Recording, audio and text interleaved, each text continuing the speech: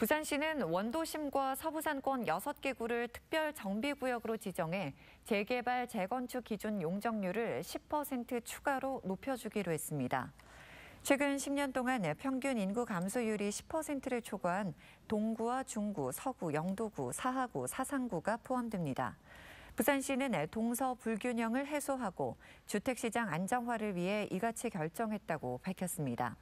현재 동부산권에서 재개발, 재건축을 추진하는 곳은 79곳인데에 비해 원도심과 서부산권은 46곳에 불과합니다. 또 조례 제정을 통해 재개발, 재건축 시 주민 동의 방법을 개선하고 소규모 재건축에 지역 업체가 참여할 경우 인센티브를 지급할 예정입니다.